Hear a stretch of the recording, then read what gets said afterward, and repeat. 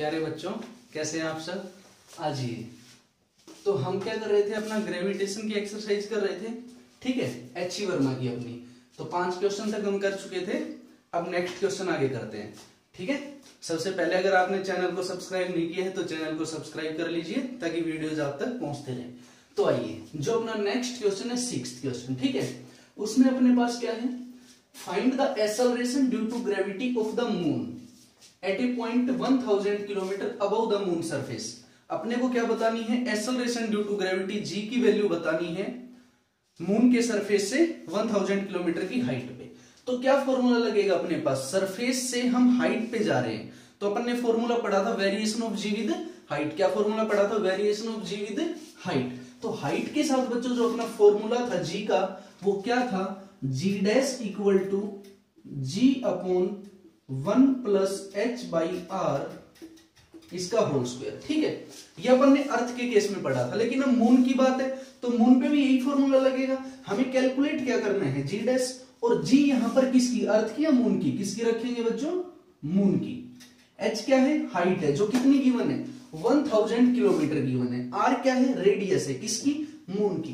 तो अपने पास रेडियस ये गिवन है मून की, और मास मून का ये है। तो मास जो मून का है अपने पास, उसकी ज़रूरत नहीं पड़ेगी हमें। रेडियस से अपना सिर्फ़ काम चल जाएगा, ठीक है? तो आइए मिलके करते हैं शाबाश। देखो भाई, क्या जाएगा अपने पास? G dash equal to g moon अच्छा जी मून क्या होता है बच्चों?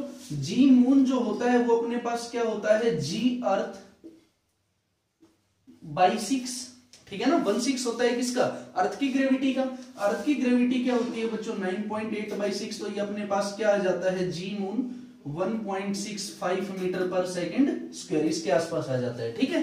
तो आइए, देखो। जी मून अपने पास क्या है बच्चों? 1.65 upon one plus h h कितना है? हाइट कितनी गिवन है अर्थ मून के सरफेस से?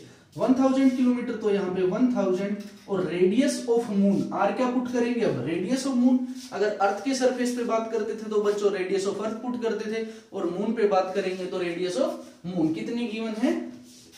1740 किलोमीटर तो इसको सोल्व कर लेंगे तो अपने पास आंसर आ जाएगा, वो क्या आएगा? 0.65 मीटर पर सेकंड स्क्वायर ठीक है? इस इक्वेशन को बस सोल्व करना है मैथ से इसको सोल्व कर लेना ठीक है? अच्छा देखो। मून के सरफेस पे जी क्या था? 1.65 थाउज़ेंड किलोमीटर की हाइट पे क्या है? 0.65 तो इंक्रीज हुआ या डिक्रीज हुआ? डिक्रीज हुआ। क्या हुआ? हाँ ना, क्या हुआ? डिक्रीज हुआ। ठीक है ना? डिक्रीज हुआ।